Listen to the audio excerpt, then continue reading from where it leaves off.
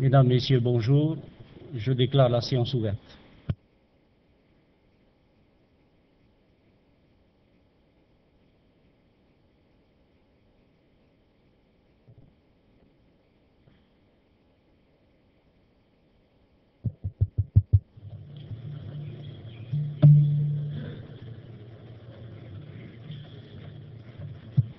Madame le Haut-Commissaire, Monsieur le Président du pays, Madame la députée, Monsieur le Sénateur, Mesdames et Messieurs les ministres, Amiral, Madame la Présidente de la Commission permanente, Mesdames et Messieurs les représentants, Monsieur le Conseiller économique et social, Monsieur le Président du Conseil économique, social et culturel, Monsieur le Premier Président de la Cour d'appel, Monsieur le Procureur général, Monsieur le Président du Tribunal administratif, Monsieur le Trésorier payeur général,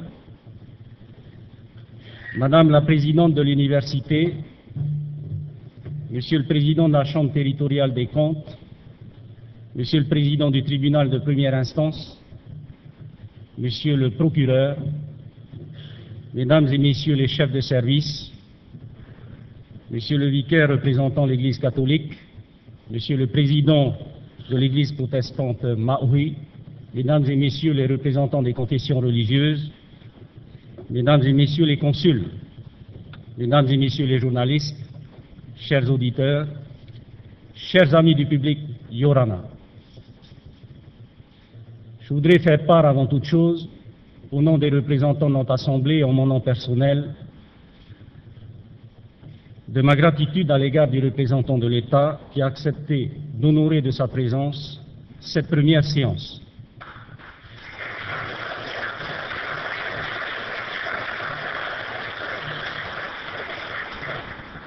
C'est donc avec plaisir et satisfaction que je prononce l'ouverture de cette deuxième session budgétaire de notre législature.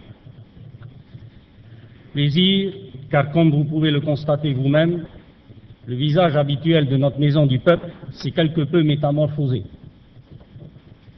En visitant la foire agricole d'Outoumoro il y a deux semaines, j'ai eu du plaisir à retrouver nos produits, les produits du Fénouan. J'ai également eu du plaisir à retrouver ces artisans de la terre, agriculteurs, éleveurs, qui contribuent par leur labeur quotidien au développement du pays. Ce plaisir, je tenais à vous le faire partager, et je tenais aussi, hélas, à vous faire partager mon inquiétude face à la crise que traverse ce secteur oublié de notre économie. Avec moins de 10% du PIB, autrefois fleuron de notre économie, l'agriculture n'occupe aujourd'hui plus qu'une place modeste. En effet, la production locale ne couvre désormais plus qu'un cinquième de nos besoins, le reste étant malheureusement importé. Je souhaitais rappeler qu'il y a 50 ans, notre pays couvrait une très large partie de ses besoins. Aujourd'hui, même dans des domaines que l'on pourrait croire phares, je pense à la vanille, notre, notre production est en régression, alors même que la qualité de notre produit est internationalement reconnue. Quand on constate que les îles australes produisaient 170 tonnes de café au début des années 1980 et qu'aujourd'hui la production est quasi nulle, on est en droit de s'interroger. Et pourtant, que de possibilités. J'ai parlé de la vanille, mais nous pouvons aussi citer nos fruits locaux, ananas, papaye, goyave, pamplemousse, qui sont de première qualité, le monde-œil, qui est lui aussi mondialement connu, le nono, le tamano, j'en oublie sûrement la liste, est tellement longue. À ma connaissance, mais j'espère me tromper, Monsieur le Président, aucun de ces produits, excepté la vanille, ainsi que bien d'autres qui le mériteraient, n'a obtenu le label polynésien, alors même que cette possibilité existe depuis le 22 décembre 1994 et sans qu'il ne soit nécessaire pour autant de solliciter une appellation d'origine contrôlée. Quel dommage de ne pas utiliser les outils dont nous disposons et qui pourraient si bien aider à la commercialisation de nos produits. Quel dommage de ne pas non plus utiliser nos produits locaux pour contribuer à la lutte contre l'effet de serre. Vous avez pu lire récemment dans la presse qu'il avait été mis au point un moteur fonctionnant à l'huile de coco.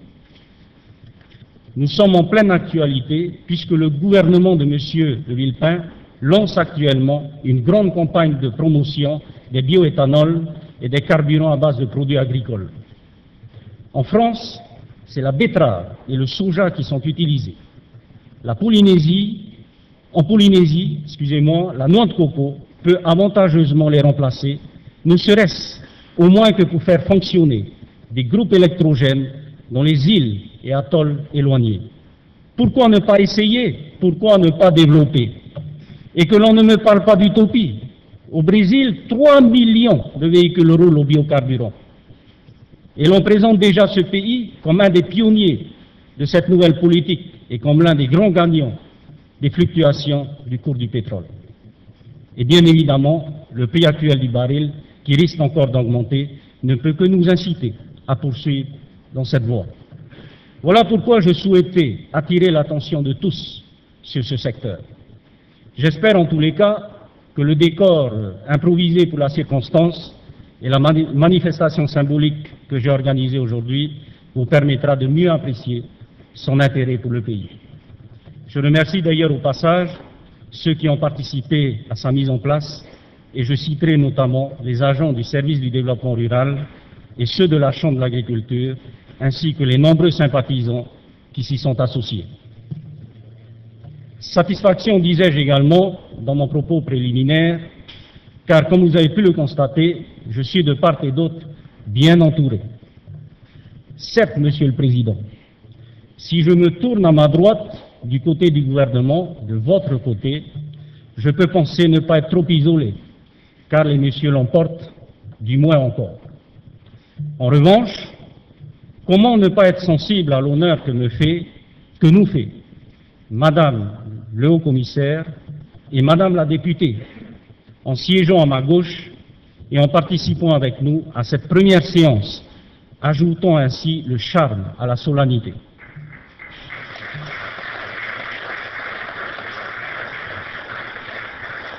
Mais je prends bien conscience, en vous voyant, Madame le haut-commissaire et Madame la députée, de l'importance croissante de la gente féminine dans les affaires publiques.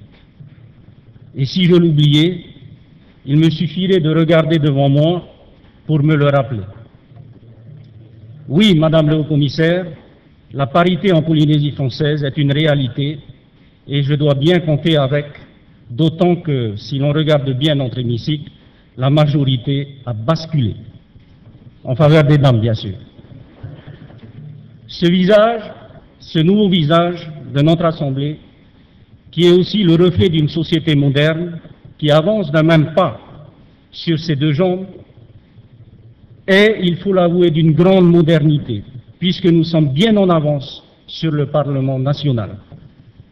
Je m'étends d'ailleurs, Madame la députée, Messieurs les parlementaires, au sein de vos assemblées respectives, nous n'ayons pas servi d'exemple.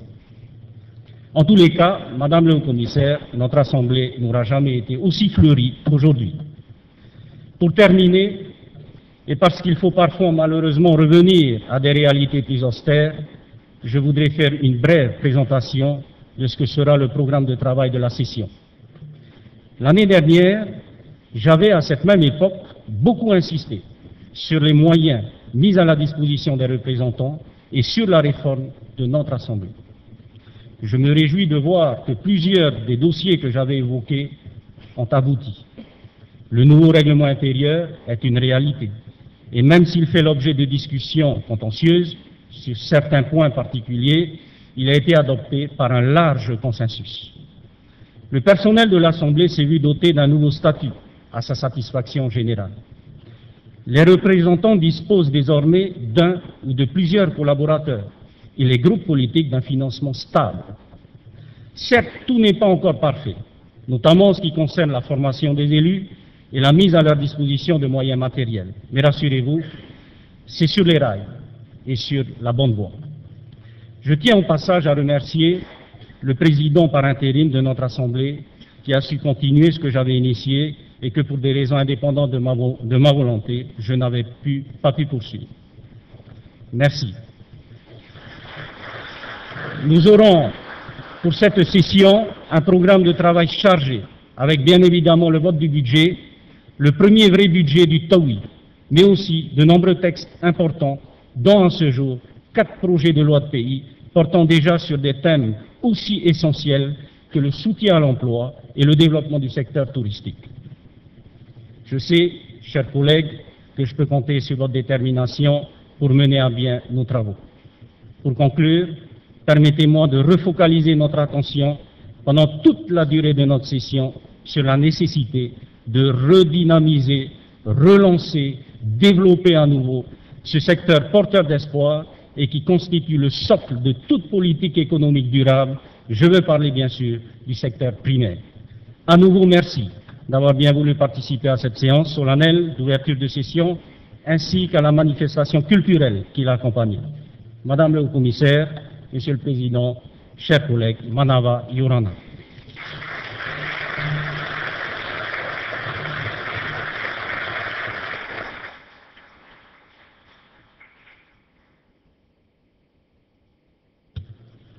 Monsieur le Président du pays, je vous invite à vous rendre à la tribune pour prononcer votre discours.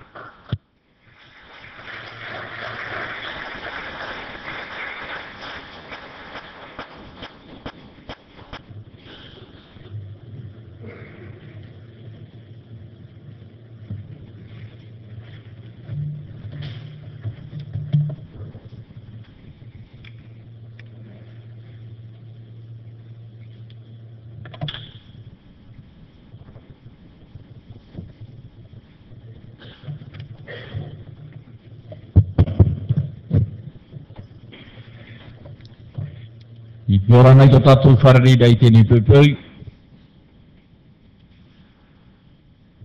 Hui mana o te whenua, kere te tēnu tāpō rān hei, mō mero mai te hia. Tātou hui tō whā, mō te eo, mō e tariti ato e tui tō tātou whenua. Mō hui mana ato o te pai te vira, anō atu i tō te pēo te pari mei te tāpō anō te arwha. Tō te momutu a te aroa. I ora nei tō tātou parere te aite mhana. Tō te whenua e nana, tō te tuamutu e arewa tō te tuha pā, raro matai ni amatai. Tātou e atiroa te ao māohi nei. Pari mei te tapa ono te arwha. Tō tātou whareri nāna artu i te irawa e o tradio te ata.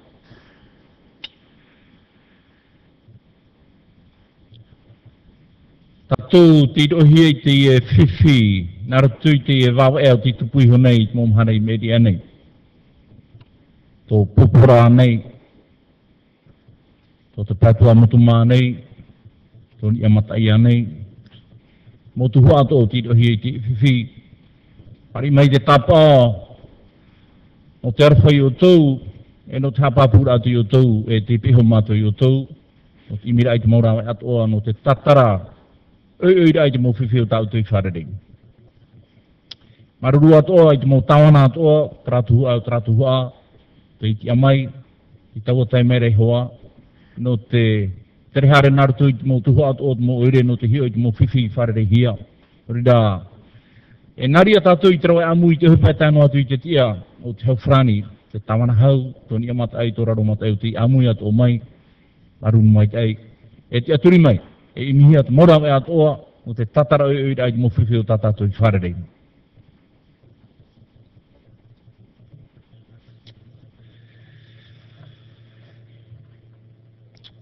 Madame le commissaire de la République, Monsieur le Président de l'Assemblée de Polynésie, Madame et Monsieur les députés, Monsieur Madame le député, Monsieur le sénateur, Monsieur le vice-président du gouvernement, Mesdames et Messieurs les ministres, Monsieur le Secrétaire général, Monsieur le Commandant supérieur des Forces armées, Amiral, Monsieur le Président de la Commission permanente de l'Assemblée de Polynésie, Mesdames et Messieurs les représentants de l'Assemblée de Polynésie, chers amis Yorana,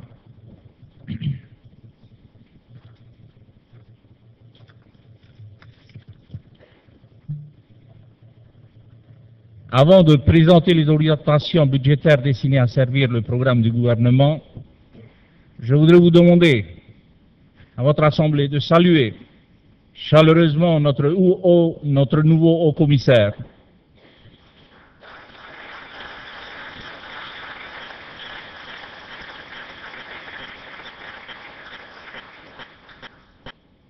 Comme j'ai eu l'occasion de le lui dire, je souhaite que nous puissions chacun à notre place contribuer à bâtir un nouveau pays où les Polynésiens pourront, en connaissance de cause et le moment venu, choisir leur propre destin. Pour l'heure, nous allons œuvrer ensemble en faveur de tous les sinistrés de ces derniers jours, qu'ils sachent que le pays et l'État se tiennent à leur côté pour les aider à reconstruire et à les encourager à surmonter cette épreuve. La politique du gouvernement consiste à réunir les conditions du développement économique et social durable et équitable. Durable et équitable, car le progrès économique ne sert à rien si le pouvoir politique ne veille pas à le mettre au service de l'intérêt général. À l'heure de la mondialisation des échanges, nos atouts sont nombreux et tout doit être mis en œuvre pour en tirer le meilleur profit.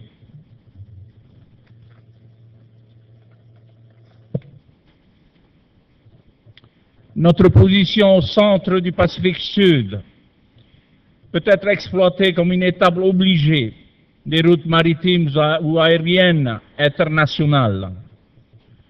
Notre environnement géographique et humain continue, à juste titre, à faire rêver de nombreux pays moins favorisés. Notre lien historique avec la France, avec l'Europe et le monde anglo-saxon du Pacifique permet de diversifier et d'enrichir nos échanges culturels et commerciaux. Nos terres, nos lagons et nos espaces océaniques peuvent accueillir les plus belles variétés de plantes, de fruits, de poissons et de perles. Autant d'atouts qui doivent inciter les acteurs publics ou privés à se mobiliser pour produire des richesses équitablement réparties et réduire les inégalités trop longtemps entretenues dans ce pays. C'est ça le changement. Pourtant, ne nous y trompons pas. Réduire les inégalités ne consiste pas à entretenir l'assistanat. L'éducation et la formation sont des outils beaucoup plus efficaces pour lutter contre la fracture sociale. La puissance publique qui se manifeste par l'action gouvernementale sous le contrôle de l'Assemblée doit être le moteur de ce développement équitable.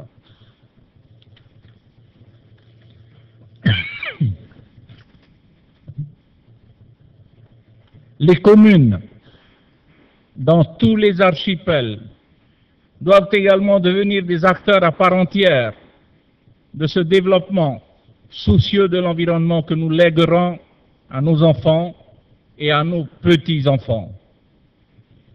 Il faut pour cela faire renaître une véritable démocratie dans ce pays, en préservant le rôle de nos institutions dont l'indépendance ne doit plus être discutée. Ainsi, le développement économique, le progrès social, l'éducation, les formations initiales ou de cadre, les relations avec les communes et les archipels, les conditions d'un développement durable ainsi que le fonctionnement de nos institutions seront les grands volets des propositions budgétaires qui vous seront soumises au cours de cette session.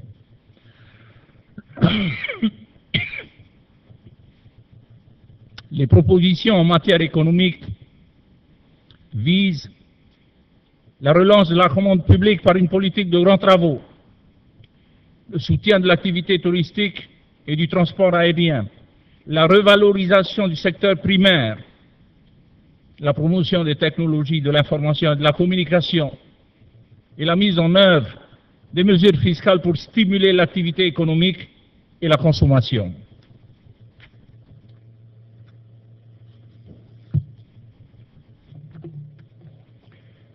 Le gouvernement vous proposera de lancer une politique de grands travaux destinée à créer un véritable boom économique sur l'ensemble de la Polynésie. Outre l'achèvement des travaux du nouvel hôpital, le lancement des études pour la réalisation du port de Faratea et l'aménagement du front de mer de Papeete, le gouvernement a validé la mise en œuvre de grands chantiers à chaque archipel. Sur Tahiti, l'adaptation urgente aux exigences de la navigation aérienne conduira au réaménagement de la zone nord, ce qui permettra de créer une rocade pour contourner Faa et Papete.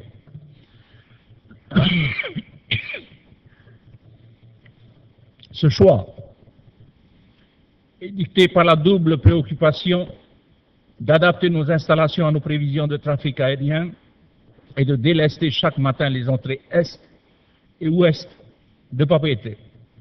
Véritable fléau pour la population. Cet énorme chantier d'intérêt général représente un investissement de près de 60 milliards sur 6 ans, ce qui permettra de créer de nombreux emplois et de garnir les carnets de commandes des entreprises de travaux publics et de leurs sous-traitants.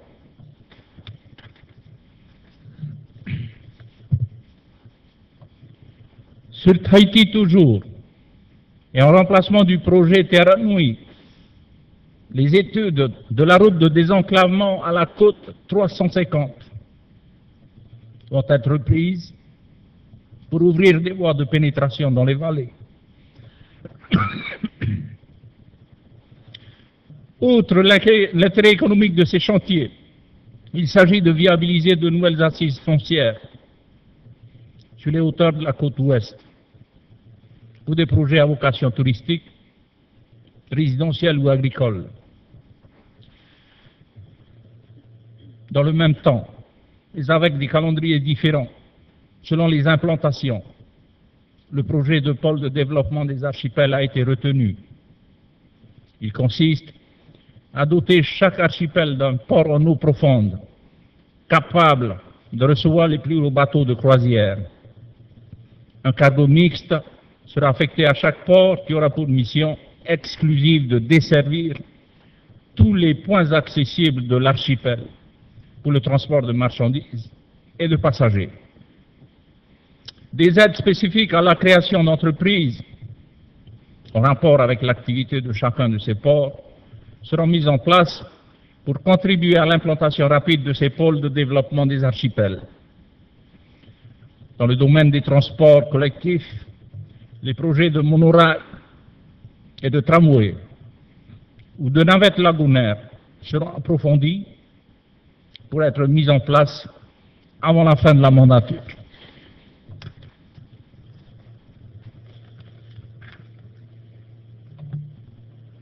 le tourisme est la principale industrie de notre pays en termes d'emploi et de revenus.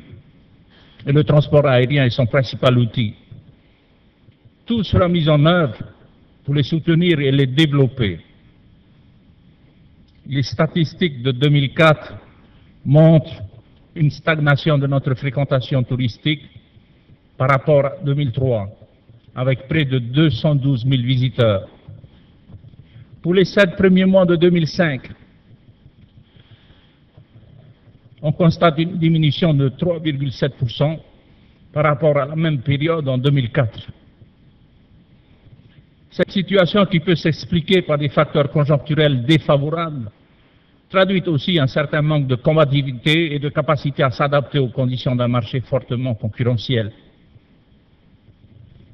Une réaction forte s'impose pour créer, avec tous les acteurs du tourisme, une nouvelle dynamique et mettre en œuvre des stratégies plus efficaces selon un schéma directeur qui sera achevé en 2006. Parallèlement, l'augmentation de notre capacité en hôtellerie classée restera soutenue par le dispositif de défiscalisation en vérifiant que les projets s'insèrent harmonieusement dans le milieu et des mesures fiscales incitatives seront proposées pour permettre l'essor de nouvelles activités touristiques.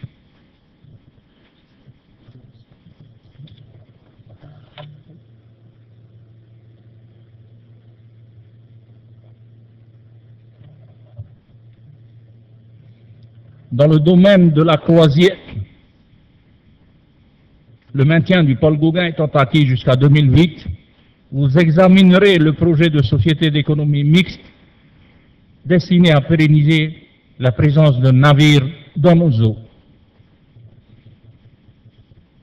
L'Observatoire du tourisme qui vous sera présenté prochainement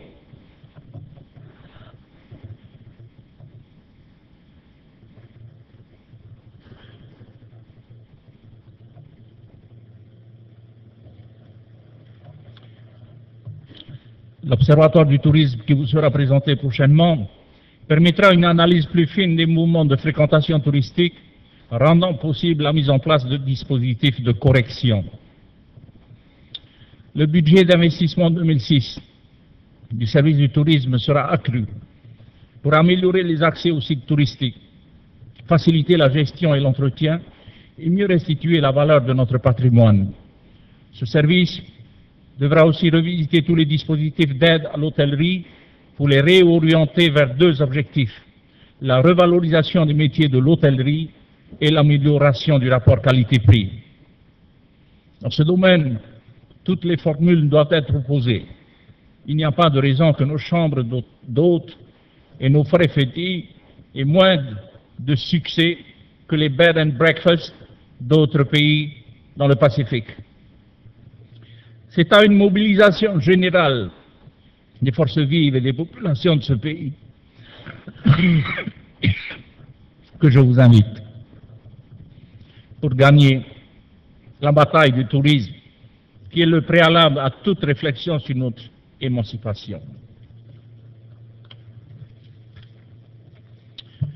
Principaux outils de développement de notre tourisme, le transport aérien international et le transport aérien intérieur devront être particulièrement soutenus. Dans le domaine du transport aérien international, l'objectif principal reste le désenclavement du pays et l'amélioration de l'offre de transport. Après l'ouverture récente des lignes de Sydney et de New York, l'année 2006 sera consacrée à la consolidation des acquis et à l'optimisation des différentes dessertes existantes la décision d'implanter l'aéroport international de Faa en zone nord pour profiter d'une rocade de contournement de Papeete revêt une importance stratégique pour le développement du pays. L'importance des coûts nécessite la collaboration technique et financière de l'État, dont le principe est déjà acquis auprès des plus hautes autorités. Cette collaboration permettra également d'étudier les possibilités d'implanter l'aéroport international de dégagement à Bora plutôt qu'aux îles Cook. Au même chapitre, nous proposerons l'inscription de crédits d'études sur la faisabilité d'autres aéroports internationaux pour améliorer nos accès aériens. Aux Marquises, pour l'ouverture au nord, et aux Australes, pour l'ouverture au sud.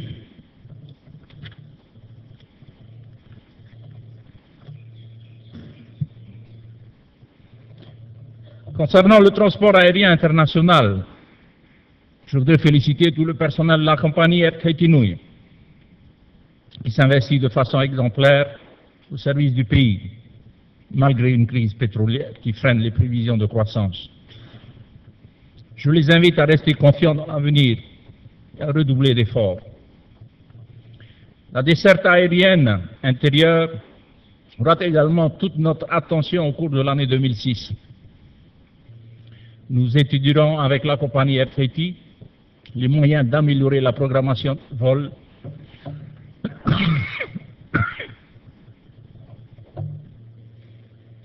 ainsi que l'accueil et le confort dans nos aérodromes. Enfin, le déploiement de notre flotte aéronautique passe par la formation du personnel qui la sert. La création d'un centre de formation de PNC et PNT en Polynésie est à l'étude. Elle pourrait devenir le centre de formation de référence pour toutes les compagnies aériennes de la région du Pacifique. Trop longtemps considéré comme improductif et non rentable,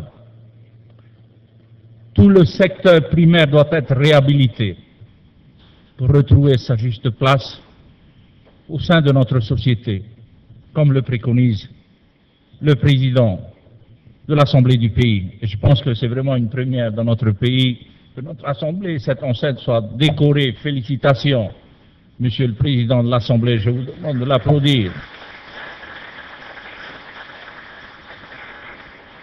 E. Iro L'importance du monde rural qui regroupe plus de 30 000 actifs ne doit pas être mesurée qu'en termes de productivité ou de poids dans la balance commerciale. L'agriculture, la pêche et l'artisanat font vivre ou offrent des revenus point à près de la moitié de notre population. Ce n'est pas rien. Notre politique est de développer durablement ces secteurs en soutenant la promotion des productions locales sur le marché intérieur, tout en développant les exportations ciblées de certaines productions. La production de plus de 6 000 exploitations agricoles en 2004, par exemple, représente environ 17 milliards au chiffre d'affaires, dont moins de 2 milliards à l'exportation. Dans le même temps, les importations représentent près de 30 milliards, ce qui montre le potentiel de croissance.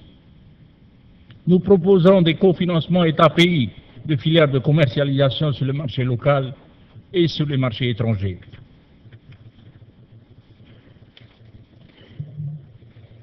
Les productions et les métiers de la mer feront l'objet de propositions de financement. Le développement du secteur de la pêche doit être mené en prévision d'une gestion durablement contrôlable. Pour les nouvelles techniques, comme le projet HAOPA, ou pour le repeuplement des lagons, de nouvelles ressources devront être identifiées en étendant le rayon d'action de nos flottilles, en diversifiant nos techniques de pêche et en valorisant de nouvelles espèces en substances marines. Les métiers de la mer se professionnaliseront et la commercialisation des produits sera améliorée par des actions de formation aux nouvelles techniques de pêche et de gestion. Il en est de même pour l'artisanat, où les crédits aideront à maîtriser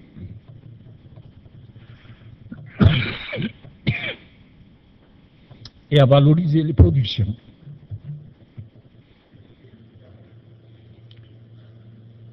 Le recensement des artisans, la mise en place d'un statut, l'harmonisation des critères de qualité et des mesures de protection des produits, la création des sortes artisanaux et d'un centre d'achat groupé contribueront à maîtriser les productions.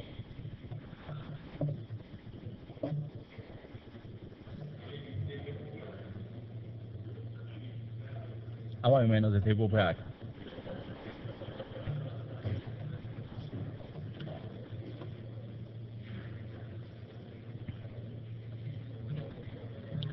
Le recensement des artisans, la mise en place d'un statut, l'harmonisation des critères de qualité et des mesures de protection des produits, la création des sortes artisanaux et d'un centre d'achat groupé contribueront à maîtriser les productions. Un conservatoire d'artisanat polynésien pourront se transmettre les savoirs, des programmes d'échange avec les pays voisins, et la médiatisation de notre artisanat à travers le monde permettra de mettre en valeur nos productions.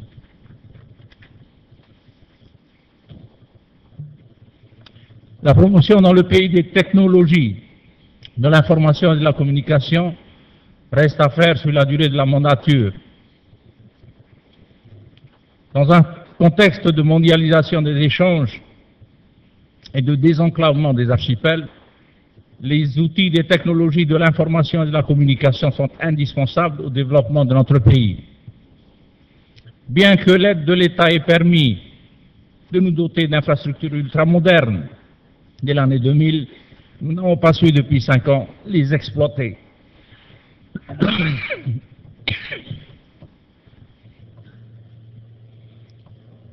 La conséquence est que nous avons pris un retard considérable en termes de coûts et de services à offrir aux entreprises, aux écoliers, aux étudiants, aux populations éloignées à nos visiteurs. Ce fiasco technologique est grave de conséquences pour notre économie, notre système éducatif, pour le développement des archipels et notre tourisme. Les entrepreneurs l'ont bien compris et dénoncent à juste titre le laxisme de nos opérateurs qui se réfugient derrière des contraintes techniques que d'autres régions, aussi isolées, ont su surmonter. Les clients d'Internet et des bouquets satellitaires de télévision n'ont constaté que des baisses de tarifs à la marge avant l'arrivée du TOWI.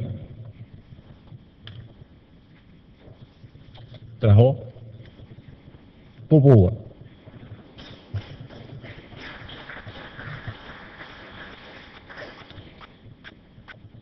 Pourtant, compte tenu des retards accumulés, nous avons encore les abonnements les plus chers les moins performants au monde pour des services qui n'ont pas suivi les avancées technologiques.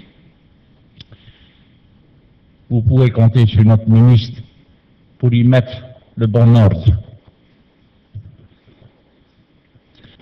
Les baisses de tarifs significatives, tant sur les abonnements Internet que sur les bouquets satellitaires, vont être poursuivies. Les produits concurrents de la DSL, mais seuls acceptables dans les zones d'ombre ou les îles éloignées, comme les communications par parabole, vont être à nouveau commercialisées. Les hôtels qui ne savent que répondre à une clientèle habituée à consulter ses mails, les pieds dans l'eau aux Seychelles ou dans d'autres destinations visant la clientèle haut de gamme, pourront bénéficier de la transmission par courant porteur jusqu'au bungalow et du sans-fil pour une totale liberté de mouvement.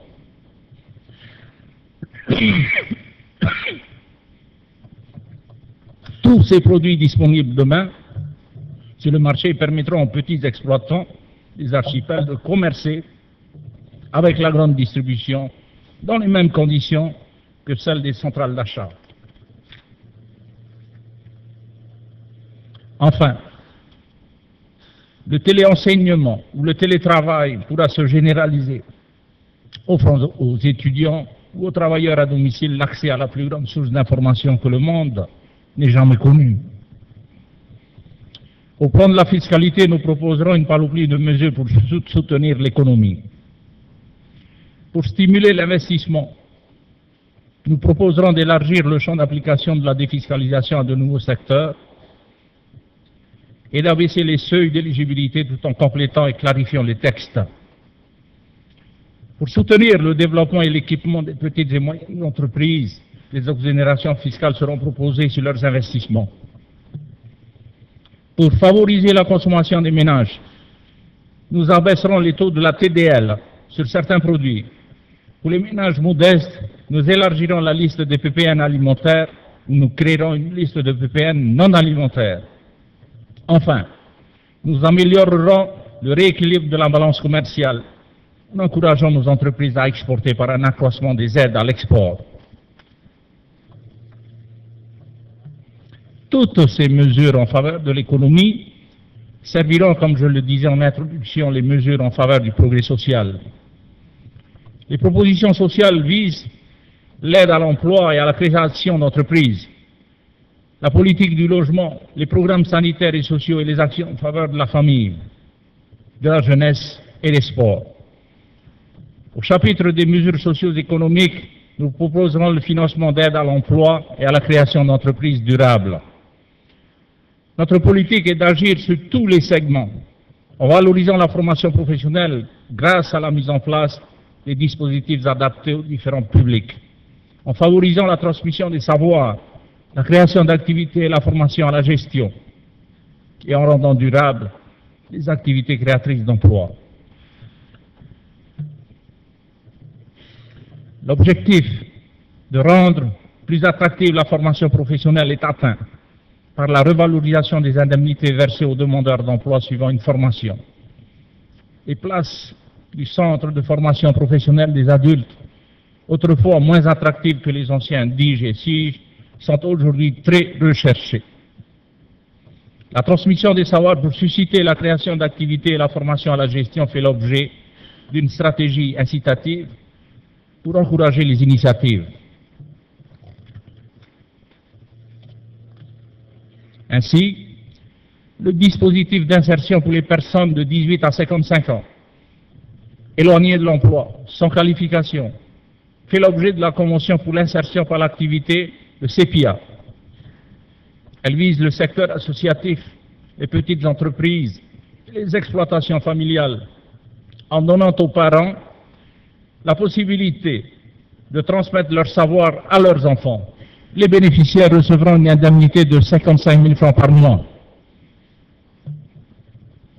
Le soutien aux entreprises individuelles baptisées Aide à la création ou à la reprise d'activité LACRA offre à un entrepreneur individuel un accompagnement en matière de formation à la gestion des petites entreprises, une aide financière mensuelle de 90 000 francs et une prime de transition au bout d'une année. Le soutien à l'embauche de personnes qualifiées repose sur la mise en œuvre du contrat pour l'emploi durablement, durable, le CED, qui se traduira par un versement de 125 000 francs par trimestre sur deux ans, soit une aide de 1 million aux entreprises embauchant un salarié sous contrat à durée indéterminée.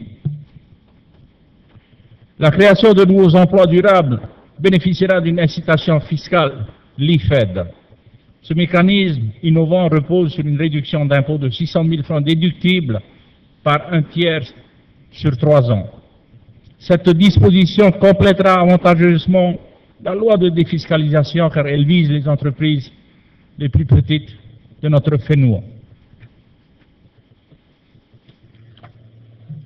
L'amélioration du soutien de l'activité passe par la protection de l'emploi local dans certains secteurs d'activité en mutualisant les expertises étrangères pour la perliculture, par exemple, par la création d'un guichet unique de l'emploi et de la formation professionnelle à propriété et l'ouverture d'une antenne du service à travaux.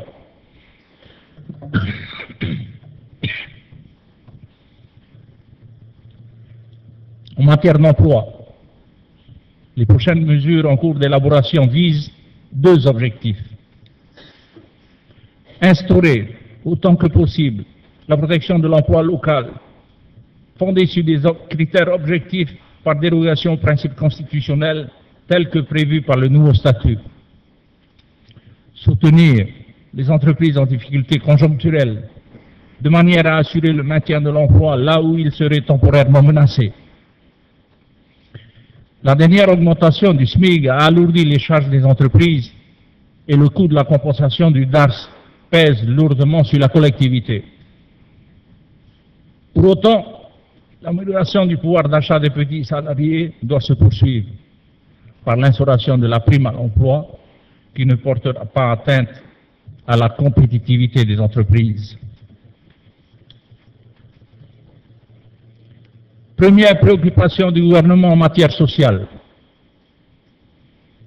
la politique du logement sera redéfinie en concertation avec l'État à partir des conclusions des États généraux pour la période 2007-2017. Dans l'intervalle, un plan d'urgence vous sera présenté. La programmation 2006 prévoit la livraison de 900 logements dont les opérations sont limitées aux zones urbaines et 400 millions de crédits à consacrer aux aides à l'amélioration de l'habitat individuel. Dans le même temps, les financements pour les programmes de résorption de l'habitat insalubre et pour la remise à niveau du parc de logements existants seront augmentés.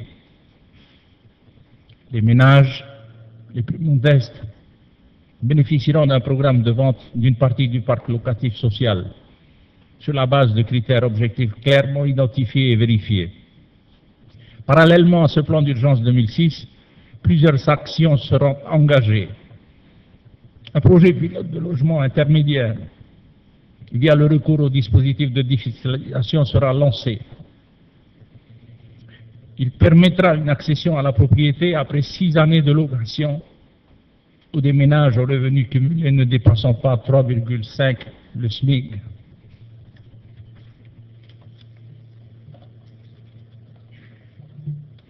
Un plan d'acquisition foncière sera lancé pour accroître la réalisation de logements individuels destinés aux familles nécessiteuses en leur proposant une action, accession à la propriété composée d'une maison sur un terrain d'environ 400 mètres carrés les besoins en réserve foncière pour 2006 sont de 17 hectares. Enfin, de nouvelles mesures facilitant la gestion de l'indivision seront prises en faisant bénéficier les projets de réalisation collective d'exonération des droits d'enregistrement et de transcription. La santé est également une priorité et nous nous attachons à rationaliser et moderniser notre système de prévention et de soins pour que chaque Polynésien puisse y accéder dans les meilleures conditions possibles. Adapter l'offre aux besoins de santé est une entreprise qui réclamera sans cesse de nouveaux crédits du fait du contexte géographique et humain. 430 millions de crédits permettront d'améliorer l'accès aux soins des divers bassins de population, en particulier ceux des archipels éloignés par la remise à niveau des structures sanitaires périphériques et le développement des consultations avancées. Pour lutter contre la pénurie de professionnels qui atteint tous les systèmes de soins dans le monde, 100 millions sont inscrits au titre de la revalorisation des primes pour le personnel en poste isolé. Plus généralement, et pour remettre à niveau les effectifs de la direction de la santé, ce sont 57 créations de postes, toutes catégories confondues, qui vous seront présentées. Dans le même temps, nous, intensifions les actions de prévention de l'EPAP en finançant la promotion de la santé par l'hygiène de vie ou par le sport maîtriser l'augmentation des dépenses et enrayer le développement des pathologies lourdes. Pour autant, L'amélioration de l'équipement du centre hospitalier doit se poursuivre avec l'acquisition d'équipements médicaux transférables le moment venu vers le nouvel hôpital du Town. 500 millions sont inscrits pour ces acquisitions. De même, 250 millions sont proposés pour rendre la prise en charge des urgences médicales plus réactives et plus efficaces sur l'ensemble du pays. Ces financements permettront d'optimiser le dispositif d'urgence de l'hôpital et de créer des relais dans les hôpitaux périphériques. Le nécessaire transfert du centre de transfusion sanguine vers le CHPF nécessitera pour, pour sa part un crédit de 150 millions. La subvention en 2005 de l'Institut Malardé sera maintenue pour relancer la recherche fondamentale et appliquée, centrée sur les domaines d'intérêt du pays par le financement de nouveaux programmes. Afin de sauvegarder enrichir et promouvoir la médecine traditionnelle. 26 millions seront consacrés à la création de la maison pour qui accueillera les médecines traditionnelles. Pour inciter les jeunes Polynésiens à s'orienter vers les carrières sanitaires, nous doublons la, la, dotation des bourses accordées aux élèves de l'Institut de formation de soins infirmiers qui passe de 70 à 140 millions. 35 millions sont par ailleurs consacrés à la formation des aides-soignantes qui s'ouvre en 2006.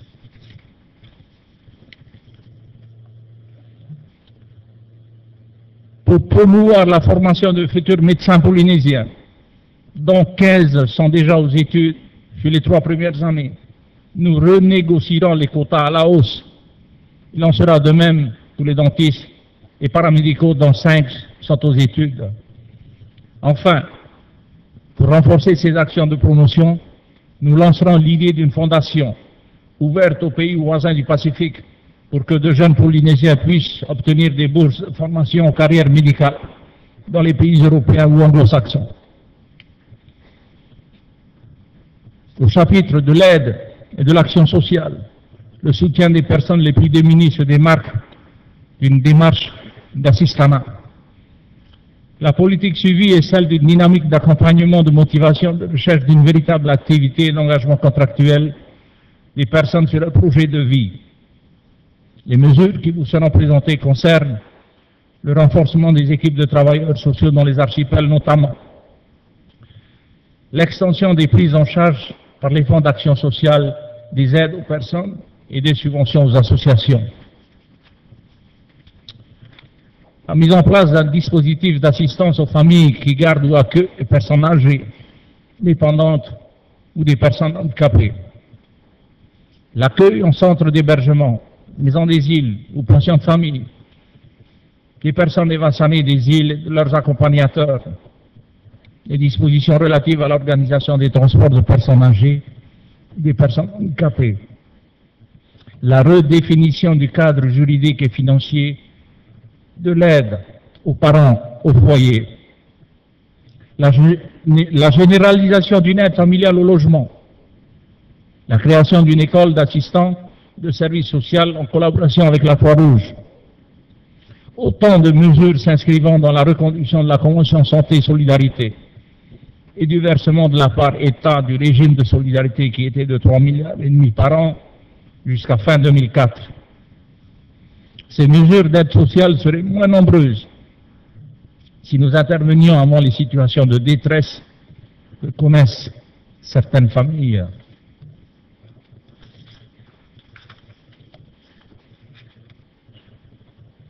C'est la raison pour laquelle nous avons créé un ministère de la Famille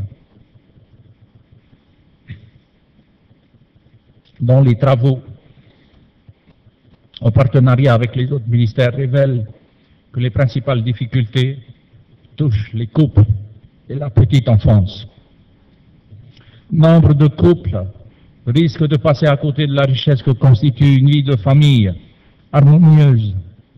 C'est pourquoi il faut offrir une aide à la parentalité responsable, à une vie de couple faite de partage et d'échange, de communication et de respect des autres au sein de la famille. C'est l'objet de deux centres d'accompagnement à une parentalité responsable qui seront ouverts en 2006 sous forme d'école de parents avec quatre animateurs. La réalisation de 12 écoles supplémentaires sur la période 2007-2012 sera proposée à l'État dans le cadre du troisième contrat de développement. Pour la petite enfance, il faut résoudre rapidement le problème des crèches garderies dont les capacités sont très insuffisantes, faute de mise en norme. Les besoins sont d'environ 2000 places et des crédits seront inscrits au contrat de développement pour répondre à la demande.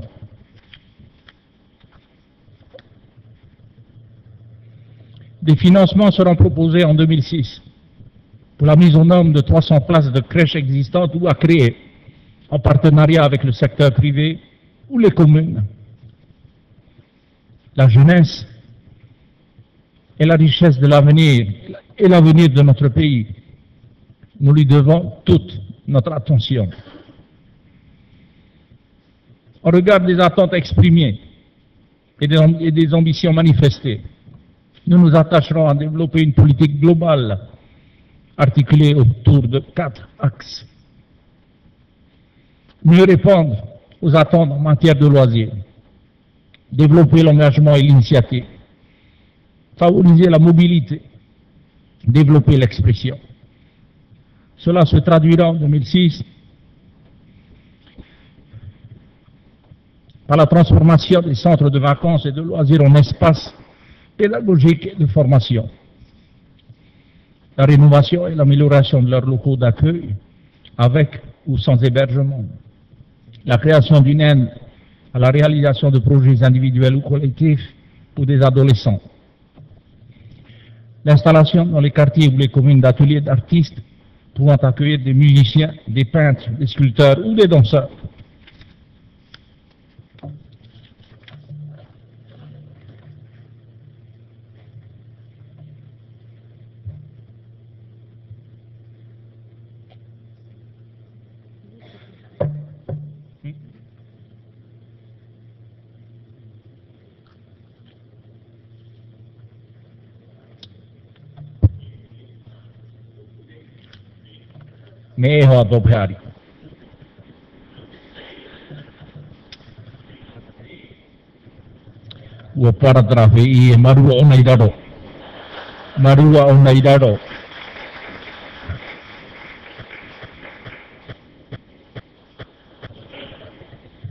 La pratique sportive et la bonne organisation des sports individuels et collectifs démontrent la vitalité d'une société.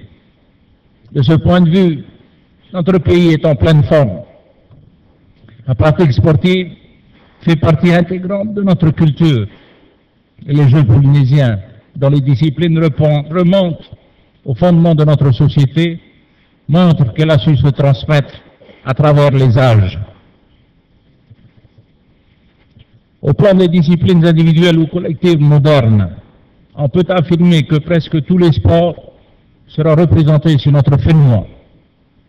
Les fédérations sont nombreuses, minimalement équipées, mais bien encadrées par des bénévoles. Et je voudrais profiter de cet instant pour remercier tous ceux qui sont investis dans le sport bénévolement. C'est grâce à eux que la jeunesse continue à faire du sport. Pourtant, l'engouement pour les sports traditionnels, comme le VA ou le surf, ne se dément pas et les compétitions deviennent de plus en plus serrées, tout en restant empreintes de fair play. Dès lors, on ne peut que se réjouir de ces bonnes dispositions. Nous poursuivrons en 2006 les efforts de financement des fédérations pour qu'elles irriguent jusque dans les archipels les plus éloignés. Une action en faveur des communes sera menée pour aider à la reconstruction des équipements municipaux mis à disposition des populations.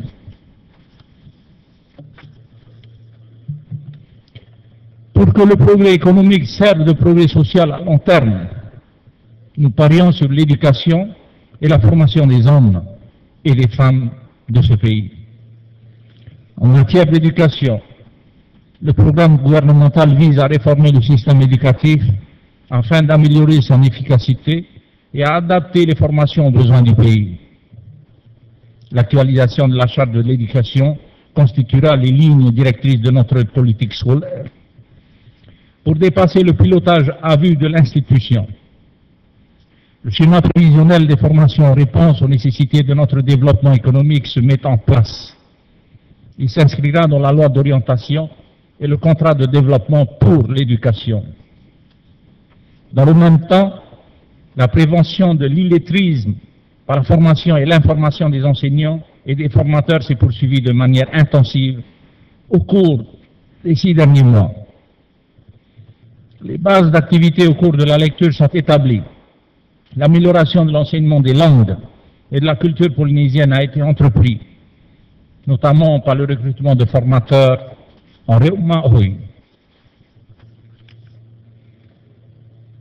L'expérimentation de l'introduction de la lecture précoce de l'anglais dès l'école maternelle est en voie de réalisation.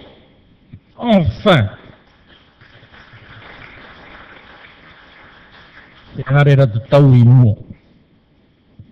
nous avançons aussi vers le plurilinguisme, un élément de richesse et d'ouverture pour notre pays. Dans le second degré, les investissements sont programmés pour rénover les internats et des mesures sont prises pour qu'ils deviennent un lieu agréable et éducatif. Autour du projet d'établissement comme du projet d'école, les actions d'aide, de soutien aux enfants les plus défavorisés sont conduites et la réflexion sur les horaires de classe doit être menée dans ce cadre.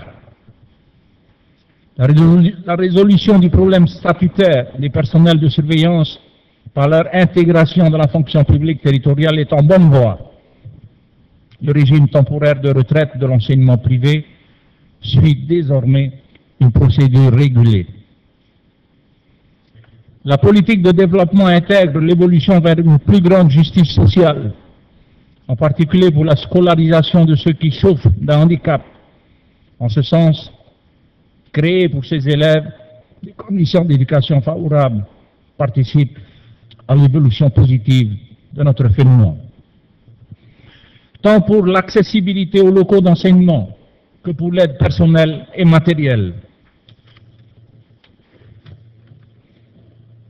Dans le cadre de sa formation continue, en accord avec le ministère de l'Éducation qui subventionne, l'université a mis en place des enseignements en réponse à des besoins constatés, notamment en matière de préparation de concours administratifs. La collaboration en matière de recherche entre notre pays et l'État a été restaurée.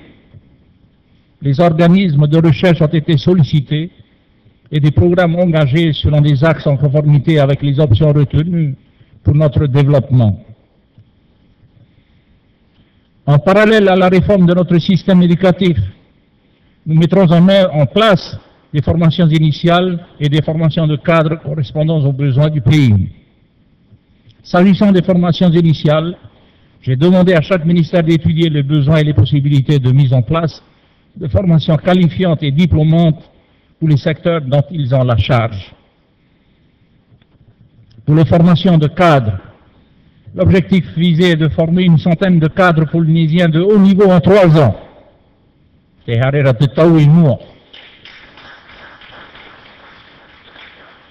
Toutes les disciplines intéressant le pays seront concernées. Un engagement à servir dix ans en tout point de la Polynésie sera signé en échange de bourses attractives de formation.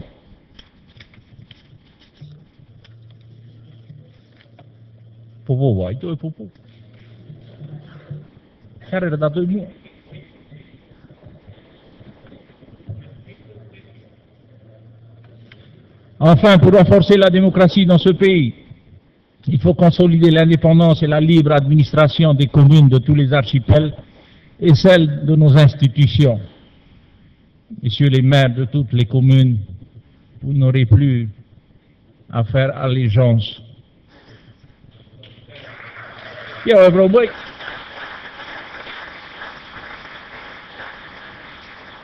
Faire allégeance au roi. Armei moi te ari tuturi e horo hia tau tau tau.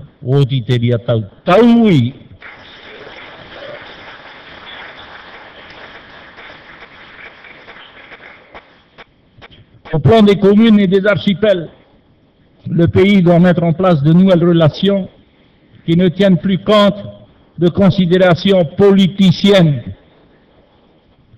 Les communes doivent avoir les moyens de devenir les premiers acteurs du développement. et Taouida. Ainsi, après avis du Haut Conseil et du CESC, un projet de loi de pays vous sera présenté visant à créer un Haut Conseil du développement regroupant des représentants de chaque archipel avec pouvoir de proposition sur le projet de développement de chaque archipel.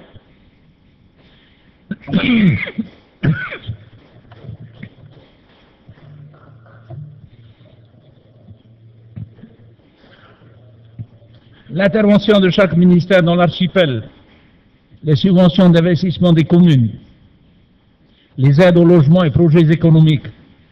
Il s'agit de créer une instance de concertation des différents pôles géographiques de la Polynésie pour bâtir une nation qui prenne en compte les spécificités culturelles, économiques et sociales de chaque entité qui la compose. Ainsi, et pour la première fois, les représentants des archipels, les maires seront directement associés à la définition de leurs besoins et à la répartition des financements publics pour les satisfaire. C'est pas beau ça?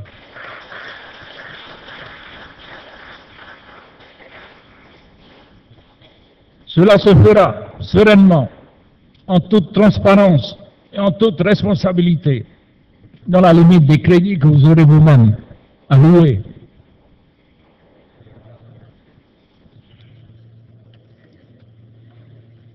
Lors du 20e congrès des maires à Vairao, j'ai insisté sur la nécessaire étroite collaboration entre le pays, l'État et les communes pour aider celles-ci à assumer de nouvelles compétences qui leur ont été dévolues par la loi statutaire de 2004.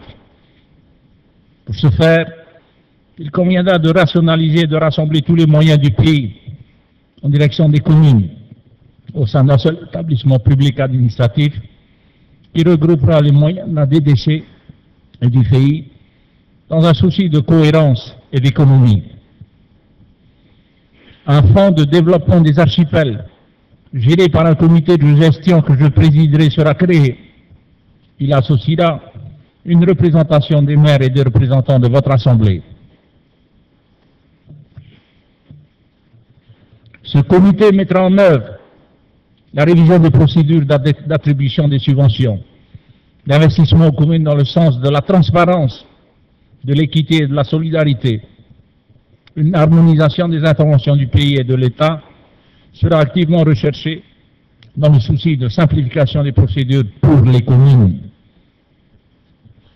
Le relèvement progressif de la part des prélèvements fiscaux au profit du FIP associé à un effort de même importance de la part de l'État, pourra redonner aux communes les moyens de leur libre administration. Les communes qu'on a voulu squeezer, mettre à genoux, vont pouvoir respirer. Oh, tout me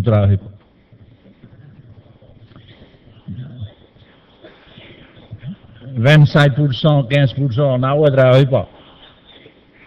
te mana i te mawahi ao. Te hari ara. Ai te o tui maiti. I 7%. Ai te o tui maiti.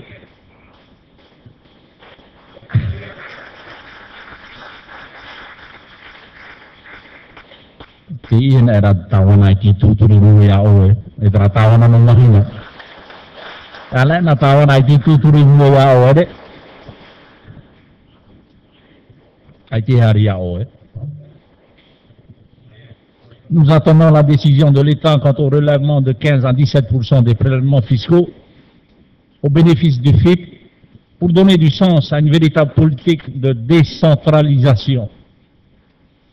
En effet, la décentralisation est d'abord une volonté partagée par le gouvernement et les élus de mettre en place une véritable démocratie participative. Le ministre des Archipels est chargé de traduire cette volonté dans les faits en s'appuyant sur la mise en place du Haut Conseil du développement et sur le recentrage des circonscriptions autour de la mission première de porte de l'administration.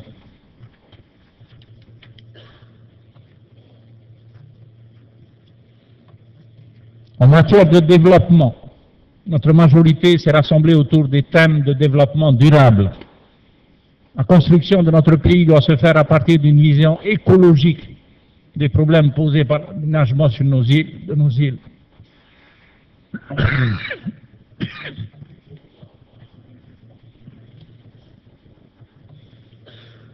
Or, nous constatons qu'aucun schéma général d'aménagement n'a été réalisé depuis 15 ans pour l'ensemble des cinq archipels. Seuls six PGA et un PGE maritime sont aujourd'hui en application.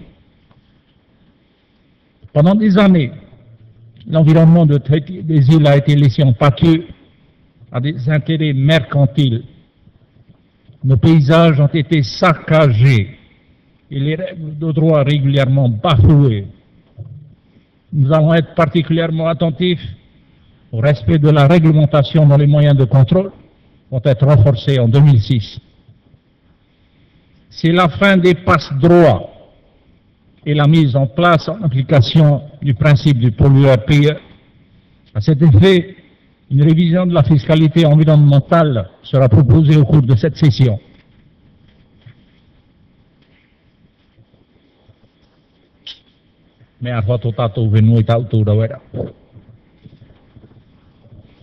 Comme vous le savez, de nombreuses associations œuvrent dans ce secteur et ne se prient pas d'interpeller les pouvoirs publics chaque fois que nécessaire.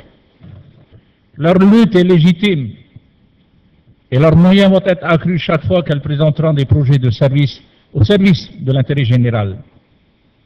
Parce que l'on protège mieux ce que l'on connaît, nous créerons un observatoire de la biodiversité polynésienne chargé d'informer et de sensibiliser le plus grand nombre à la fragilité de nos milieux. Depuis quelques années, l'environnement a mis en avant la lutte contre les pollutions et le traitement des déchets qui passent en premier lieu par des procédures très coûteuses d'incinération. C'est un problème crucial posées à toutes les collectivités et de nouvelles techniques vous seront présentées pour la valorisation de certains déchets. Les actions en matière d'assainissement sont balbutiantes.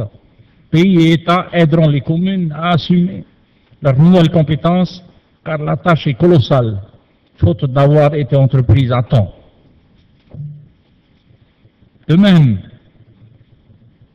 il faut sans plus attendre rendre aux Polynésiens et à leurs visiteurs l'accès à notre littoral et à nos rivières.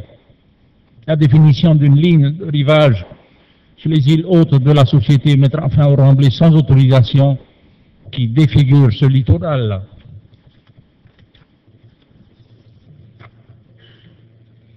Des efforts particuliers seront initiés en faveur des sites déjà fragilisés ou détériorés comme Papeno, Iperu et Punaru, qui ne sont malheureusement que de tristes exemples. Il faut mettre un terme au laisser-aller généralisé et changer nos modes de consommation d'énergie pour un plus grand respect de notre environnement. Dans ce domaine, où le pétrole constitue une contrainte lourde, un plan sera mis en place pour réduire notre dépendance vis-à-vis des hydrocarbures en recourant de manière intensive aux énergies renouvelables. Pour Tahiti, le développement de l'hydroélectricité sera engagé sur deux sites, de Papeya et de la Taru. Une unité utilisant l'énergie thermique des mers pour les besoins en climatisation du nouvel hôpital constitue une innovation technique majeure. Pour les îles et les archipels, la mise en œuvre d'un programme de centrales hybrides éoliennes solaires diesel réduira de façon importante la dépendance énergétique vis-à-vis de l'extérieur. Des mesures incitatives seront mises en avant pour la valorisation du kilowattheure et l'utilisation à terme du biocarburant pour les véhicules, comme le vient, vient de le souligner notre président de l'Assemblée de Polynésie.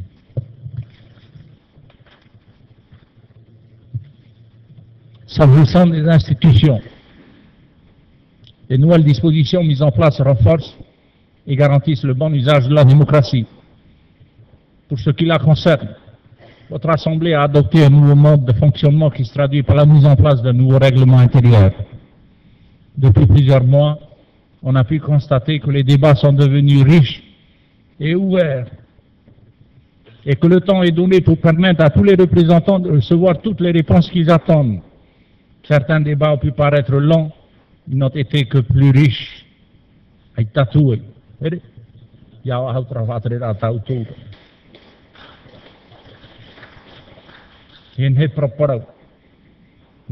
Atapapa. Les textes législatifs et réglementaires sont modifiés et continueront de l'être pour permettre de réaliser une évolution pleinement concertée des règles sur lesquelles est fondé le fonctionnement de notre société. La révision, la révision statutaire interviendra en son temps avant les prochaines échéances électorales. À l'usage, les procédures applicables pour réaliser l'adaptation des textes législatifs et réglementaires de notre nouveau statut apparaissent très contraignantes et très longues à mettre en œuvre. Préparer, proposer, faire adopter et rendre applicable une loi de pays nécessite plusieurs mois et ne pourra s'inscrire que dans la durée.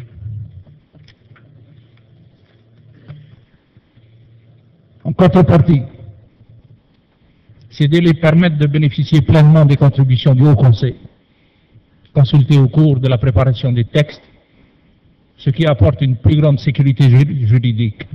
Par ailleurs, la constitution du nouveau Conseil économique, social et culturel, dont le rôle est aujourd'hui pleinement reconnu, donnera une dimension nouvelle à notre vie démocratique je vous demande d'applaudir notre nouveau président du CSCSC, M. Patrick Galland, parmi nous ce matin.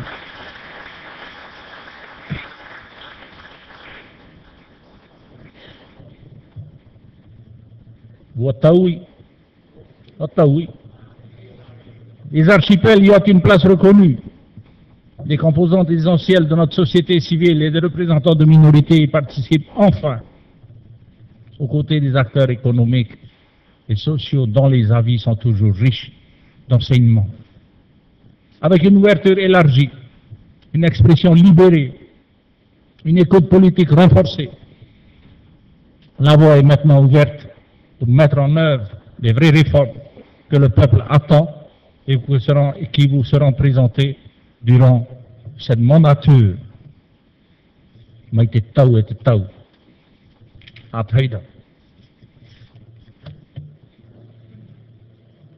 Au moment de conclure,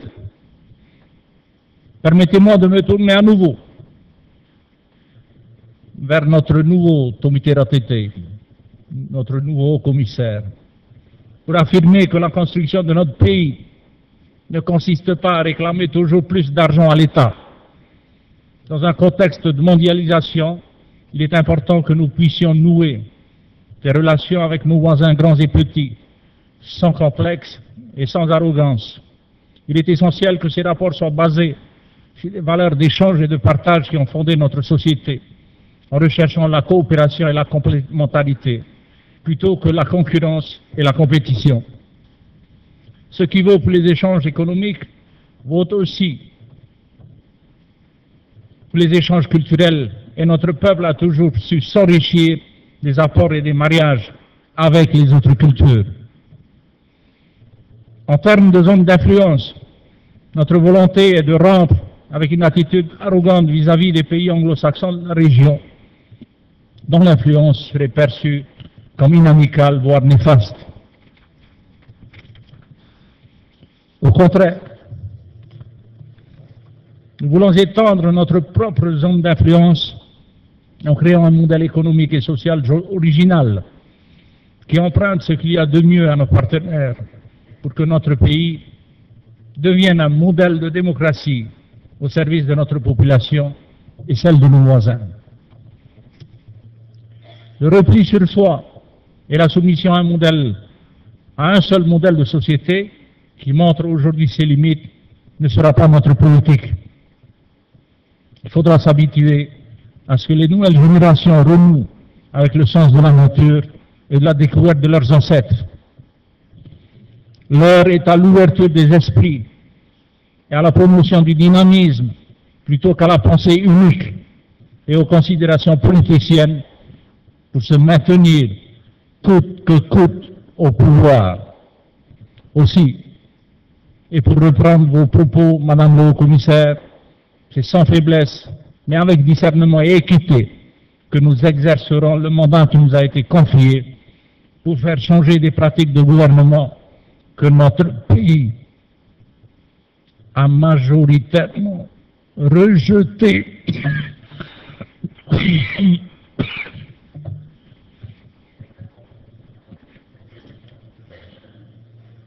On ne veut plus de vous. Je vous remercie de votre attention.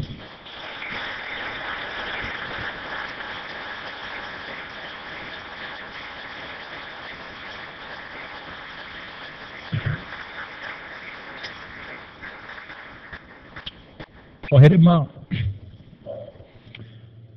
Nē tātou e pau. Te hamatana i tātou i te whanhoi te pau. o te tau i ruto i tō tātou whenu. O te mea tāpura fōwha, whanau mai, ma te heiti meri muri tātou. Nā te whātere a te i o tō tātou whenu o te ria i rawa mai.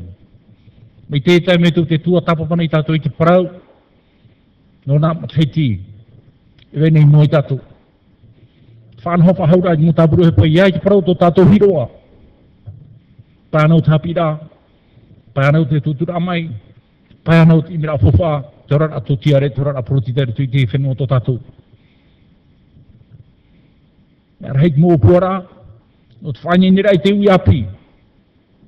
I to ane i te parau, no te heiva tuaro, no to ane i te pau te roto ana i te prau no te whātere rei, tō tātou whenua anana hei, no te mea nā utou te ui api o te emhana. E amo i tau tāpuro he pāra. Tamatou hopo ia, te mito ai e tō tō prau no anana hei. Ia nā anho te whenua no utou. Te whenua i te mōwhanhora e rau edhei. Whenuri hi au tō tāpuro hei a te prau no te ora atu tiare rato i te whenua tō tātou. Pāro oi hunei utou i te tei, mau tāo api. Pāro oi hunei utou i te tei, mau tāo api. I roto i tō tātou whenua. Prau nei o te sepia e hate i mea. Te wenei roto i tō tātou whenua, te te mometua, e tā mahua i tamari, tau turuturu harere i tātou i roto ane i praut whāpu, whamura animara, ai tā ratou hepuna trawa ai, o whirurihia o tua tapapahia tau a praura. E o whanhau te tei kino moni. Te o fōna te mutamari e rawe rei te hupe pihoi tona me tua tāne anei, o re rei pihoi tona me tua o. No te hapi ai te toro o te me tua tāne ai tāra te me tua o. Pai ahoru mā hou e tauti tārai te awa e. Te ria e apai. Ui te oi te aramhana, te ani meira te mutua wharewhiti i hawitiwiti he te tapuru hepe. Te wei tōna i te prau, te tei mo ui api hina rore whātupu i tarato ho hepa. Te wei tō ara te tei whanhora, o te hawa i ai rato i chapi da, hapi i mena whei te whāteri te hepa, na whea te amo i chopo ia, na whea te whanho, te wei tō ara te tei whanhora i te whaito e horu o tauti ni tārai tāwa, te tei mera rato e hare i chapi da, no te hapi i te rira tiara. Te wei nei te mana on ora ato e rato i te prano, te putura mai ai te tato e rau e te taute. Wharoto o doi te tei pro api, te tei tau api rato i to tato whenua, te pro fondation. E tu hio te tei tino muni roto, mo te mea merhei te mo te mari tau i tenei, Uro ata rato protu i te bakalorea, hara rato i hapi rā, te pāne o te ture, hina are hari toro a taute, i te hare o te whiwhi o tōra au tuawhare, whae te hapi rā, hare rau i te hepu. Te wene i roto i te e whanhora, nā roto i te e fondasio, e nen he tātou e tolu i tātou mutamari. Pero ane i te imu whenua e whātire i tātou Neutrali Fiji, ai tāre i Australia, ai tāre Marite mā, Europa mā, o te hari i. O te mea aita tātou e rawai nei, i te motia papu, o te whātere au i te mopuhe po tō tātou whenua, no te whahare rai tō tātou whenua i mua. Te pau, o te imira fofa o te ratere. Ke hinaro nei te whātere au tō tātou whenua, i ariro te iuhipa i iuhipa nā tātou pauroa. Te ami hiare i tatou pauroa e hapi i te reo partane. Te e ai tō flasi i te reo partane, ai te, ai te rio, tātou rā. Nā tātou koe hari i te ratere. Hamatai e tāpi i tā tātou mutamari, nā rato i te pia tamahou. Tō tatou reo, māhoi, te reo wharani, ai tatou e, te harera tatou i mua. Te harera tatou i mua. E hau mai mua e au, Papi o e tu mai rutu kere po e ora i hua. Ana, ana i mua e. Ai tata maa e po i po e ni tona whenua. Nā rato i tā uto hapi rā, nōri ata māhoi te wewe i te amhana rutu i tā uto hātare rā, wara wai te rā.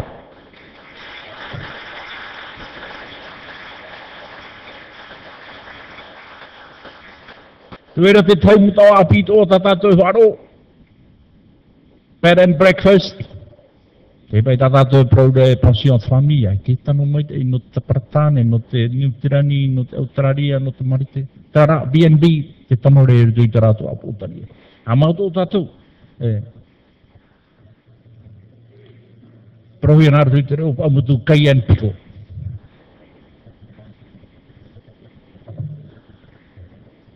KNP. Rod partane BNB. Pura ai wana e tua tau vai te para wana nei. Promo te ao tātou nei te whiwhi nei te amhana.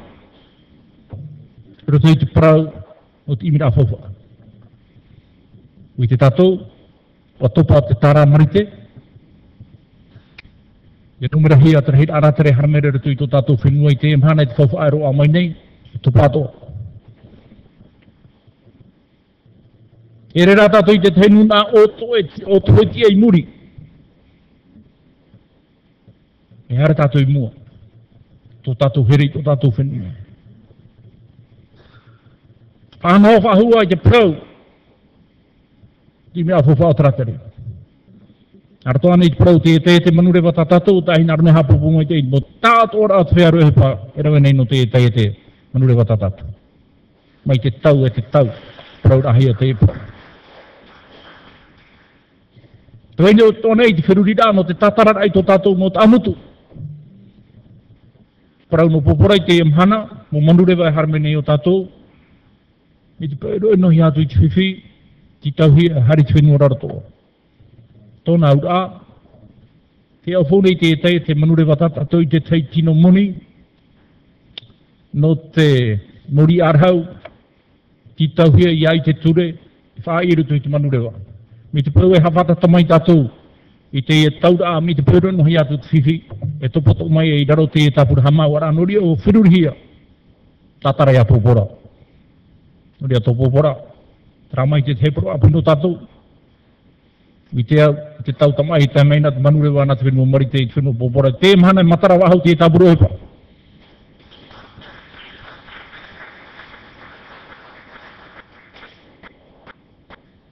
te wene i te prau no te whenua nana.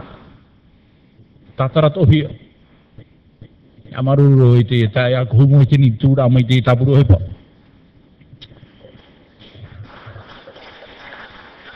Ia nei nei tōnu i wai hari mua. Ia o hai anō i te ruehere. Tere rā maruru wa pai ngā riato o tōtu pātua mutuma. Rarumatai.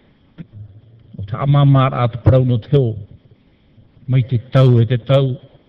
To to whenua e nana mahu i noa. Tai mai ku te ti mai. Dine puti anere tara.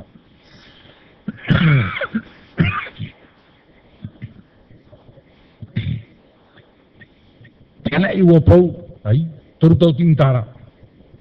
Mai te tau e te tau tau tau hātere rā mai tō tātou whenua, warau ai te rā. Te hare tātou i mua.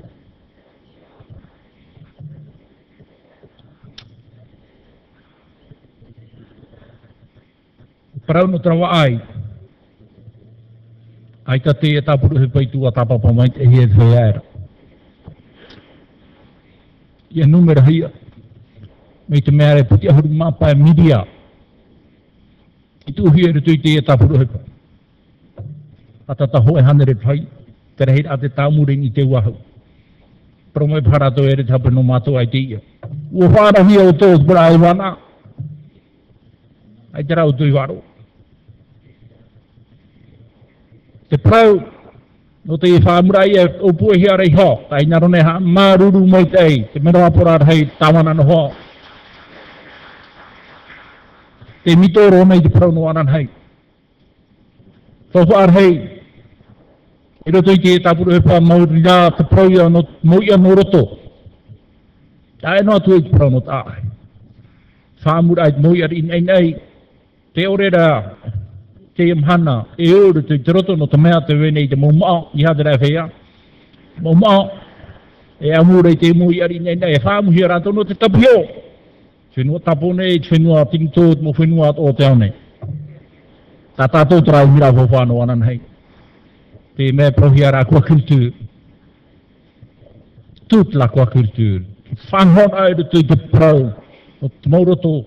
Ia manui e rutu i te hoe rutu to tātou whenua. Te veitu ara te tei moroto. Ta tātou. Te e whawha amatamu o te oti a muana rei whaati rei tātou. Te tūra i hei te te vei wehi te te Tana atu i te parano te whaabu mai te tau e te tau. Parauru au iau e tau nuna. Patia to tau ari mai raro i to tau whenua. Ia ora tau e a tau e ho.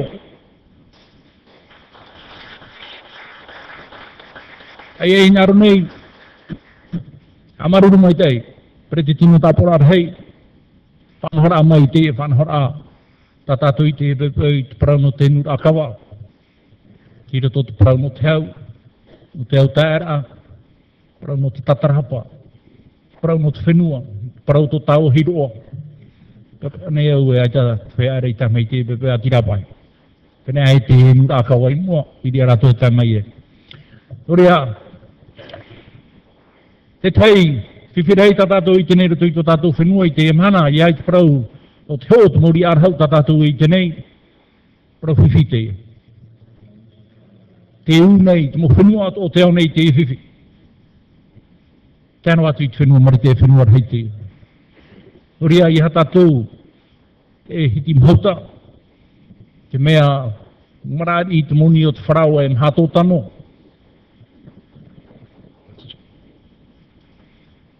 me nara tui e ki mirahi mura wea tō. No tu mea te mirahi whea ho whraoa, pahare e mhatara i nia. Ui mā tui te mura wea tō e mhatō tanu, ui te au e marai tatu. Pai te rita hotapia, hamanoi te whraoa nā i uma.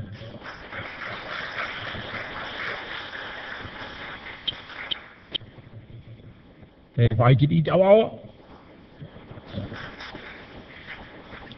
Whaitiri te te muhama awara hapora ore. Para ona mua i oro ai huma.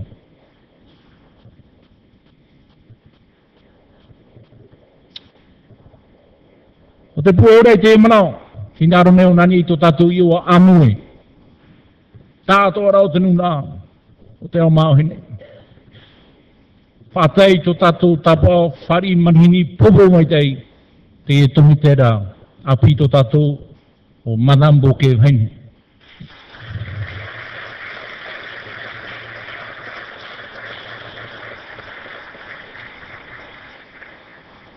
Te poi ana i te e nei, wa wawo wa tu tatu i to tatu pe ue. Ia pao te ria, o to tatu te aturira, o to tatu where i ana, tapo no te arafo, maruru, yorana.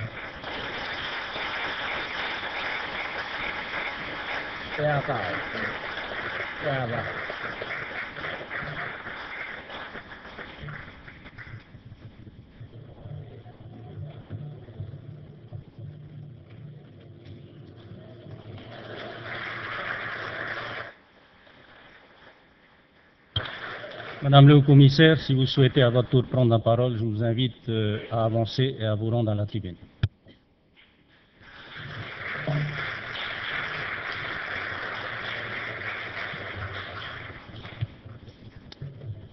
Messieurs les présidents, Madame et Messieurs le parlementaire, Mesdames et Messieurs les conseillers, Mesdames et Messieurs, il n'est pas vraiment d'usage que le haut-commissaire s'exprime euh, en cette enceinte. Néanmoins, je voulais euh, tout simplement, tout normalement, vous dire merci. Merci de votre accueil. J'ai reçu le geste de ce matin de la Ikawa comme un geste amical. Je voulais également vous dire que je n'avais pas le sentiment que l'État et le pays étaient sérieusement fâchés, même s'il y a eu, il est vrai, chacun le sait, des moments un peu difficiles. Je ferai en sorte, pendant le temps où je serai parmi vous, que nous ne soyons jamais fâchés, mais dans une relation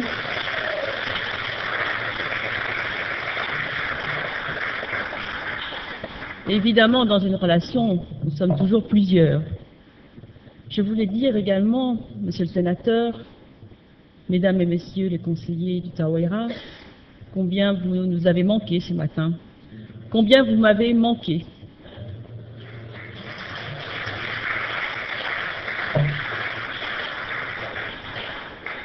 Je voulais vous dire aussi qu'en politique, à certains moments, il faut savoir surmonter les oppositions, les divisions.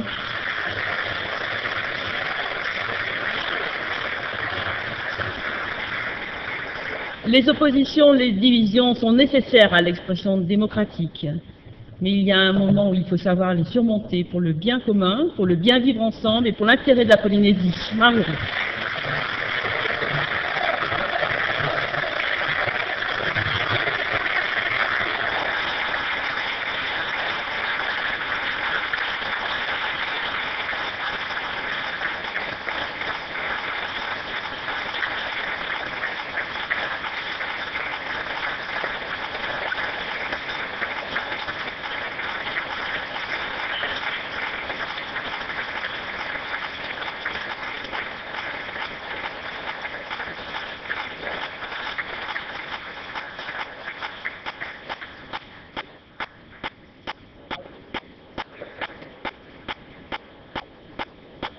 Je vous propose une suspension de séance de un petit quart d'heure, 15 minutes, pour permettre aux autorités qui le souhaitent de prendre congé de notre hémicycle.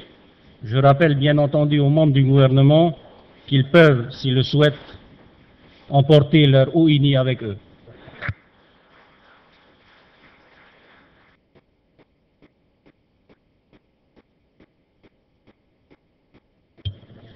La séance est reprise. Demande au secrétaire général de faire l'appel des représentants. Madame Algon Ima, absente.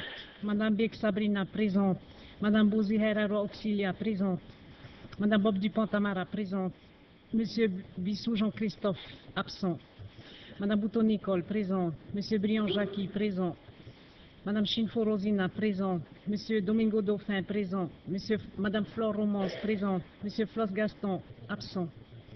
Monsieur Foster Temauri, présent. Monsieur Frébo Jean Alain, absent. Monsieur Fritz Edouard, présent. Monsieur Géron Santoni, présent. Madame Haïti Pascal, présent. Madame Irchan Nounoutia, présente. Madame Iriti Teoura, présente. Monsieur Komoitini René, présent. Monsieur Lison Marcelin, absent. Madame Maria Emma, présente. Monsieur Maraïura Teina, présent. Monsieur Matao Mayron, présent. Madame Mati Juliana, présent. Madame Merceron Armel, présent. Madame Mouévé Amo Véronique, présente. Monsieur Moutam Thomas, présent. Madame Naya Teripaya Maron, présent. Madame Olivier Marise, présent. Madame Parker Eleanor, présent. Madame Pater Delia, présente. Madame Persigal Daniel, présente. Monsieur Piraté André, présent. Madame Richton Monique, présente. Monsieur Rivetta Frédéric, présent. Madame Rochette Stella, présent. Monsieur Sandras Bruno, présent. Monsieur Chil Philippe, absent. Monsieur Somers Eugène, présent. Madame Taero Lucette, présente. Madame Tahara Guilinda, présente. Madame Tahiata Chantal, présente. Madame Tahuatama Juliette, présente. Madame Tama Françoise, présente. Monsieur Tefarere Hiroiti, présent. Monsieur Tremate Ruben, présent. Monsieur Teritea Roberto, présent. Madame Teroatia Sylviane, présente. Madame Titoine Nuilana, présente. Monsieur Tétoine Nouinois, présent. Monsieur Tonson Gaston, absent. Madame Tuchot-Billard Catherine, présente. Monsieur Veira Roy Howard, présent. Monsieur Van Bastolet Raymond, présent. Monsieur Vonchou William, présent. Et Monsieur Yves Michel, présent. Merci. Je demande au secrétaire général de donner lecture des procurations déposées. Monsieur le Président, nous avons enregistré les procurations de Monsieur Lisan Marcelin à Monsieur Thomas Moutam, de Monsieur Maraoula Teina à Madame Eliano Parker, de Monsieur Tonson Gaston à Madame Sylviane Teroaté, enfin de Monsieur Jean-Alain Fribault à Madame Françoise Tam. Merci. Veuillez donner lecture du projet d'ordre du jour. Monsieur le Président, la conférence des présidents réunie lundi dernier vous propose l'ordre du jour suivant. Point 1, approbation de l'ordre du jour. Point 2, séance de questions orales. Point 3, désignation des rapporteurs des projets de loi du pays. Point 4, désignation des représentants au sein d'organismes ou commissions extérieures à l'Assemblée de la Polynésie française. Point 5, examen de la correspondance. Point 6, habilitation du président de l'Assemblée de la Polynésie française à fixer la date des réunions de la session. Et enfin, point 7, clôture de la séance. Merci. Je vous informe qu'aucune question orale n'a été déposée au secrétariat général. En conséquence, je propose de retirer le point 2 de notre ordre du jour. Je demande maintenant à l'Assemblée d'approuver l'ordre du jour proposé. Nous passons au vote. Ceux qui sont pour, à l'unanimité. L'ordre du jour est approuvé. Nous passons au point suivant de notre ordre du jour. Conformément aux dispositions de l'article 142 de la loi statutaire, les rapporteurs de projet de loi du pays doivent être désignés par l'Assemblée parmi ses membres. S'agissant du projet de loi de pays relatif au contrat pour l'emploi durable, qui est candidat? Qui se propose candidat? Monsieur Sommers Eugène, pas d'autres candidats? Monsieur Sommers Eugène. Donc nous passons au vote. Ceux qui sont pour la candidature de Monsieur Sommers Eugène, Le groupe Tahouera s'abstient. le Tavera s'abstient. Donc euh, ceux qui sont pour, s'il vous plaît, ceux qui sont pour, 33 pour, ceux qui s'abstiennent, 24, 23 abstentions, et ceux qui sont contre, aucune voix contre. Donc, M. Sommer, c'est donc rapporteur du projet de loi de pays relatif au contrat pour l'emploi durable. Nous passons au second projet de loi de pays relatif aux jours fériés applicables en Polynésie française. Même démarche qui est candidat? Monsieur Vonchou William. Pas d'autres candidats? Très bien. Donc, même procédure, nous passons au vote. À mon avis, même vote. Même vote adopté. Monsieur William Vonchou est donc rapporteur du projet de loi de pays relatif aux jours fériés applicables en Polynésie française. Nous passons maintenant au quatrième point de notre ordre du jour, à savoir la désignation des représentants de l'Assemblée de Polynésie au sein des commissions et organismes extérieurs. Je demande à ce titre au secrétaire général de nous donner davantage de précisions sur ce dossier. Le Président, il s'agit du comité de pilotage interministériel relatif au nouveau pôle économique de Taravao. En effet, l'arrêté numéro 428 du 16 août 2005 a prévu la désignation de quatre membres titulaires de l'Assemblée parmi les représentants de l'Assemblée de la Polynésie française.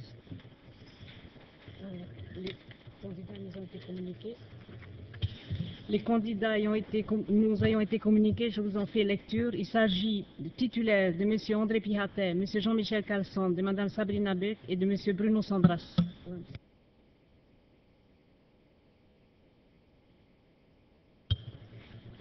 Monsieur Edofrich, Euh, Merci, Monsieur le Président. La règle de la proportionnalité ne s'applique pas à cette euh, répartition.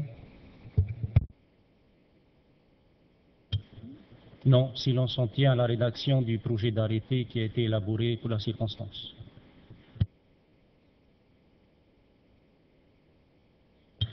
Donc je propose sans plus tarder de passer au vote. Donc celui-ci se fait à main levée, comme le prévoit l'article 41 de notre règlement intérieur. Ceux qui sont pour À l'unanimité. Donc je demande au secrétaire général de donner lecture des membres élus de ce- dans cet organisme, dans cette commission plutôt. Alors, Monsieur le Président, il s'agit de M. André Pihatet, M. Jean-Michel Carlson, de Mme Sabrina Beck et de M. Bruno Sandras. Merci.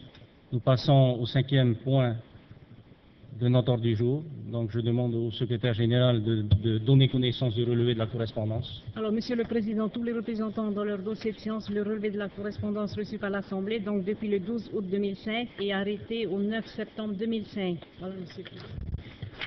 Merci. Conformément à l'article 10 de notre règlement intérieur, je demande à l'Assemblée d'habiliter le président à fixer pour toute la durée de la session les dates de réunion.